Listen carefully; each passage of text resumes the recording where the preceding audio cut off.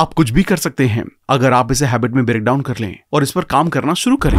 ये कोई आसान काम नहीं है कि नई हैबिट अपनाने का आपने डिसाइड किया और इस पर काम करना शुरू हो गए। इसी वजह से आप एक टाइम में कुछ ही हैबिट इंट्रोड्यूस करवा पाते हैं। हेलो दोस्तों रीडो बुक्स क्लब में आपका फिर से स्वागत है। आज हम एक ऐसी किताब के बारे में बात करने वाले हैं, जिससे हम जानेंगे कि कैसे अपनी छोटी छोटी हैबिट्स पर ध्यान देकर हम आसानी से अपना बेस्ट वर्जन बन सकते हैं। इस किताब का नाम है super human by habit a guide to becoming a best version of your self one tiny habit at a time जिसे टिनान ने लिखा है। अगर आप इस बुक में बताई गई बातों को सिर्फ़ इक्कीस दिन भी फॉलो कर पाए तो आप लाइफ में बहुत आगे जा सकते हैं।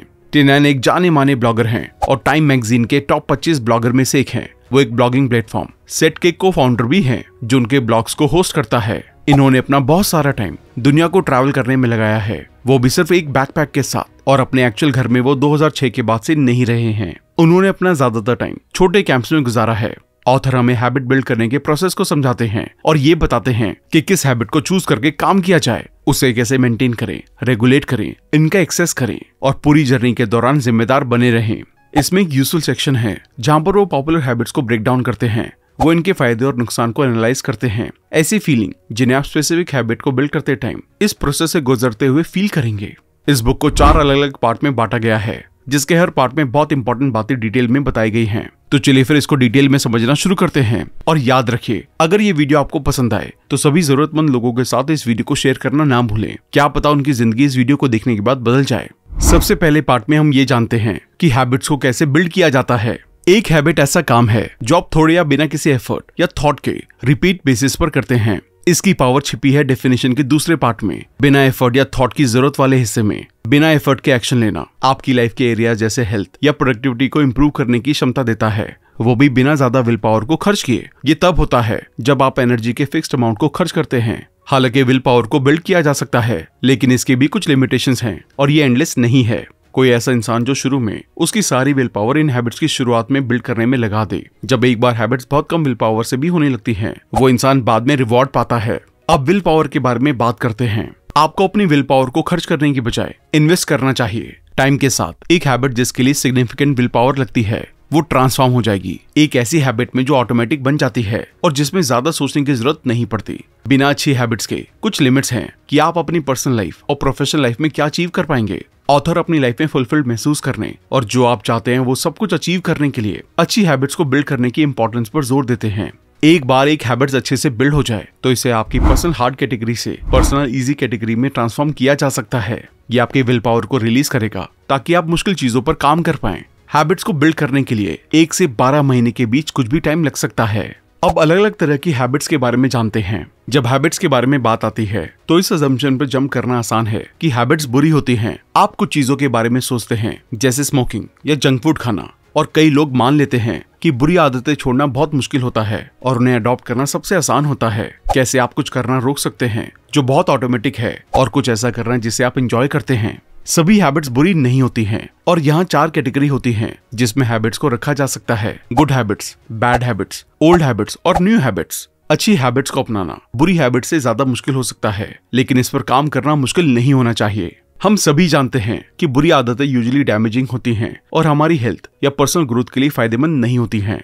एक बुरी आदत को छोड़ने की कोशिश करने की बजाय इसे किसी नई आदत से रिप्लेस करने की कोशिश करें। कुछ ऐसी जो आपके ओवरऑल बींग को इम्प्रूव करे, या आपकी प्रोडक्टिविटी और काम को इंक्रीज करे। पुरानी आदतें वो हैं जो चीज़ें आप लंबे टाइम से करते आ रहे हैं। वो पूरी तरह से ऑटोमेटिक होती हैं और इसमें कोई विल पावर नहीं लगती। इसलिए आपके पास जितनी चाहे उतनी पुरानी आदतें हो सकती हैं। हालाँकि जब भी आप एक नई आदत को अपनाना चाहते हैं, आप अपनी विल पावर पर अच्छा खासा दबाव डाल रहे होते हैं। इसी वजह से आप एक टाइम में कुछ ही आदतों को अपनाने में लिमिट हो सकते हैं। सेल्फ इंप्रूवमेंट का अल्टीमेट प्रोसेस है ज़्यादा से ज़्यादा अच्छी आदतों को ऐड करना, उन पर मेहनत से काम करना, उन्हें पुरानी आदतों में कन्वर्ट करना और नई आदतों के लिए जगह बनाना। अब हैबिट्स के लॉन्ग टर्म इम्पैक्ट को समझते हैं। ऑथर हैबिट्स की लॉन्ग टर्म इम्पोर्टेंस पर ज़ोर देते हैं। सोचे कि एक आदत आप पर अब से कई सालों में या दशकों में क्या असर डालेगी? हैबिट का फ़ायदा आपके लिए गए हर एक्शन का रिज़ल्ट नहीं होता है, जबकि ये लॉन्ग टर्म में आपकी लाइफ पर कंप्लीट इम्पैक्ट होता है। जब आप एक लॉन्ग टर्म पर्सपेक्टिव को अपनाते हैं, ये बिल्कुल क्लियर हो जाता है कि हैबिट अडॉप्ट करने का सबसे इंपॉर्टेंट एस्पेक्ट होता है कंसिस्टेंसी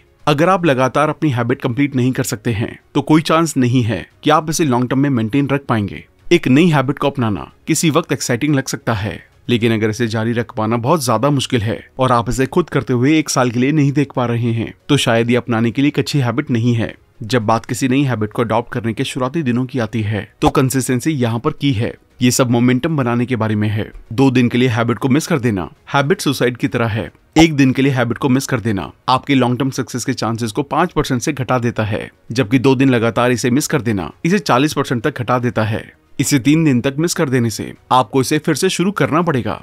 हैबिट्स को आपके रूटीन का हिस्सा बनने में टाइम लगता है। ये शुरुआती दिनों में बहुत इंपॉर्टेंट होता है कि आप अपनी हैबिट्स डेली कंप्लीट करें। ये इतना ज़्यादा क्रिटिकल नहीं हो सकता कि आप एक हैबिट के ऑटोमेटेड होने के बाद एक भी दिन मिस ना करें। लेकिन शुरू के कुछ महीनों में वो सब कुछ करें जो आप ये इंश्योर करने के लिए कर सकें कि आप एक दिन भी इसे मिस ना करें। जब भी आप किसी हैबिट को मिस करने जा रहे होते हैं, खुद को कॉन्शियसली याद दिलाएँ कि आप इसे स्किप कर रहे हैं और अपने आप को बताएँ कि आप इसे क्यों स्किप कर रहे हैं। लेकिन कभी भी इसे दोबारा स्किप ना करें। सब कुछ प्लानिंग से नहीं जाएगा। ये भी इंपॉर्टेंट है कि आप ये एक्सेप्ट करें कि चीज़ें हमेशा प्लान के अकॉर्डिंग नहीं जाती। कभी कभी हम हमारी हैबिट को कंप्लीट नहीं कर पाएँगे। ये पूरी तरह से आपके कंट्रोल से बाहर हो सकता है। कुछ सिचुएशन में आप सही में, में अपना रूटीन कंप्लीट नहीं कर पाएँगे। फिटनेस का एक एग्ज़ाम्पल लेते हैं। छुट्टी के दिन अपने फिटनेस रूटीन को ना रोके। हो सकता है आपको अपने जिम या इक्विपमेंट का एक्सेस ना हो या उतना ज़्यादा टाइम ना हो। लेकिन घर के बाहर जॉग करना और अपने रूम में पुशअप या सेटअप के कुछ सेट्स करना कुछ भी ना करने से बेटर है। इन सिचुएशन में आपको सिर्फ़ इसे करने की ज़रूरत है, चाहे आप इसे एक बुरे तरीके से ही करते हैं। याद रखें कि हैबिट की पावर इंडिविजुअल एग्जीक्यूशन में नहीं है, लेकिन कंसिस्टेंसी में है। स्किप करना कहीं ज़्यादा बुरा है कंपेरेटिवली इसे बुरे तरीके से करने से।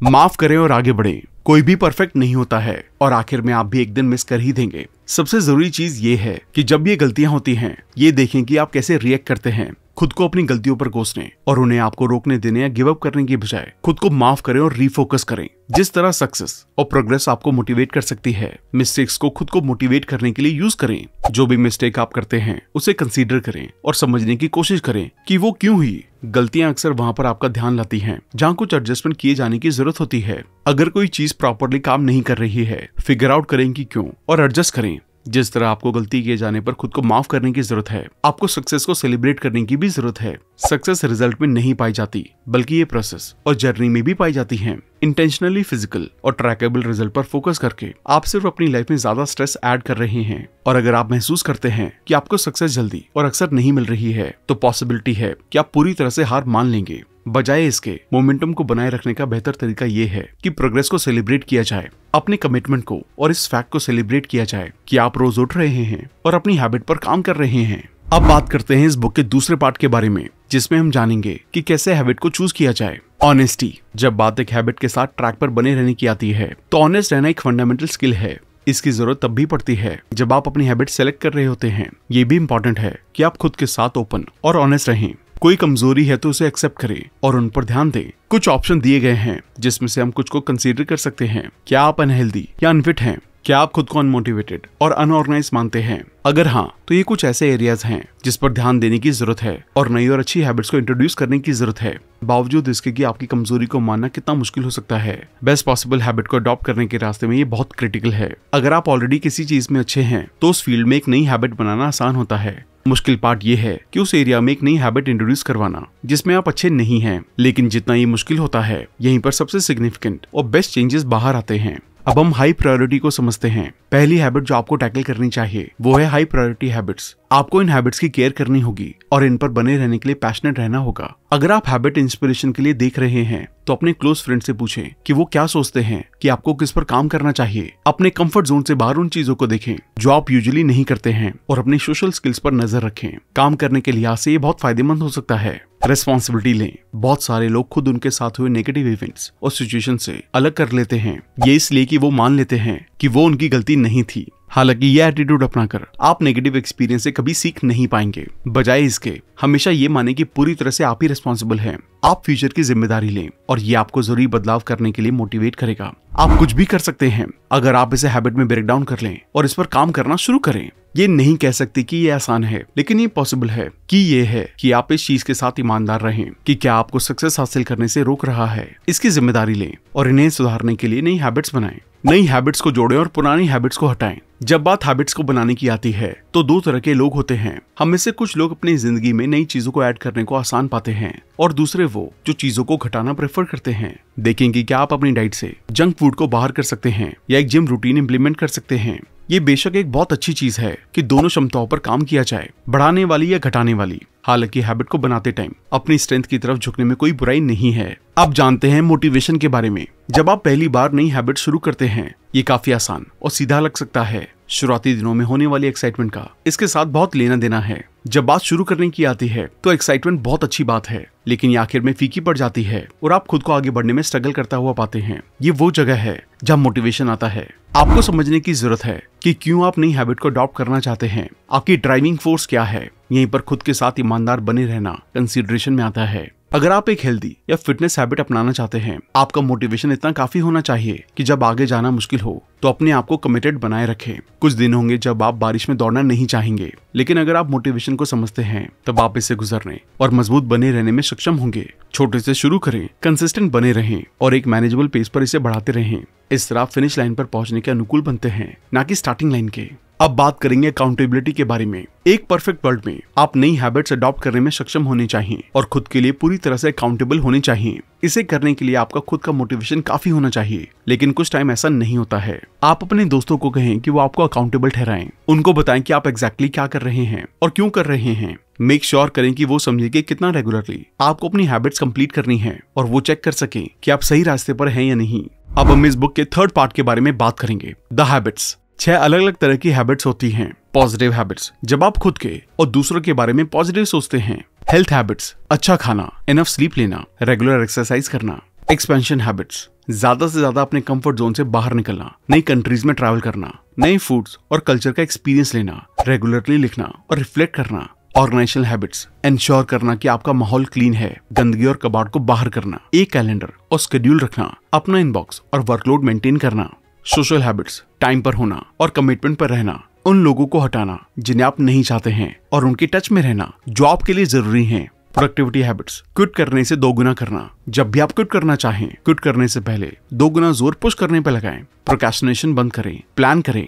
अब बात करते हैं इस बुक के आखिरी और चौथे पार्ट के बारे में। गेटिंग स्टार्टेड शुरुआत में हैबिट्स को नर्चरिंग की ज़रूरत होती है। ये कोई आसान काम नहीं है कि नई हैबिट अपनाने का आपने डिसाइड किया और इस पर काम करना शुरू हो गए। आपको ये कंसिडर करना होगा कि किस तरह आपकी लाइफ में फिट होने वाला है और क्या ये ऐसा है जिसे आप रेगुलरली कर सकते हैं। ये एक्साइटिंग हो सकता है, लेकिन ये ओवरवेलमिंग भी हो सकता है। जब बात एक नई हैबिट को बनाने की आती है तो लॉजिकल और रियलिस्टिक बने रहना ज़रूरी है। हालाँकि हैबिट्स बनाने की प्रैक्टिस सिंपल है। हम उन चीज़ों को पहचानते हैं, जो हम हर रोज करते हैं, और हम उन्हें ऐसे एडजस्ट करते हैं कि हम उन्हें थोड़ा बेहतर बना सके।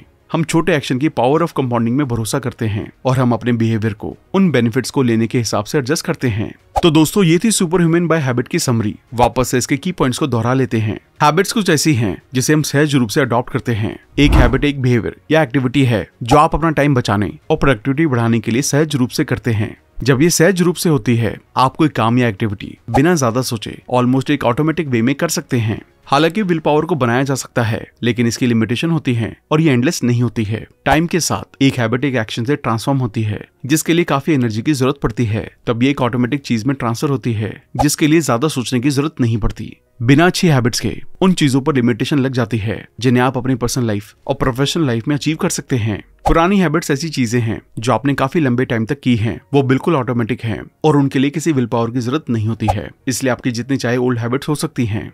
जब भी आप एक नई हैबिट इंट्रोड्यूस करना चाहते हैं, आप अपनी विल पावर पर एक अच्छा दबाव डाल रहे होते हैं। इसी वजह से, आप एक टाइम में कुछ ही हैबिट इंट्रोड्यूस करवा पाते हैं, जहाँ पॉसिबल हो, अपनी हैबिट कंप्लीट करने में एक भी दिन स्किप ना करें। ये शुरुआती स्टेज में बहुत ज़्यादा ज़रूरी होता है।